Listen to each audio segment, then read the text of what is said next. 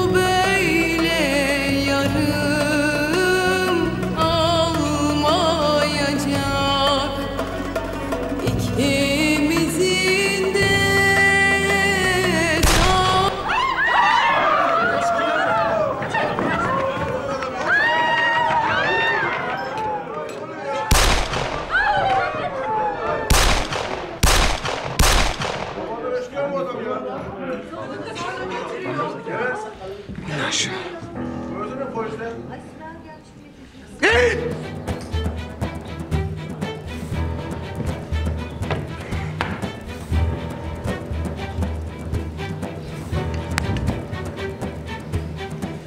Kimse kusura bakmasın. Bu gece program yok. Bundan sonra Ayten Hanım da yok. Yürü.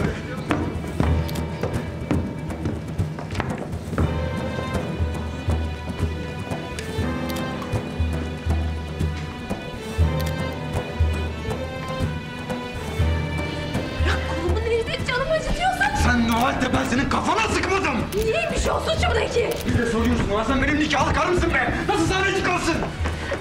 Al şunu üstüne giy beni dinden kitaptan çıkartma Ayşe. Şarkı söylemek mi kabahatim? Şarkı söylemesi milletin masasından meze rüyasına malzeme diyorsun geç. O ne biçim laf? Ben ekmeğimin derdindeyim. Sen içerideyken neler çektiğimi ben biliyorum. Sanat diyoruz biz ona. Anasını şimdi Necdet evde yok, keyfim beyde yok.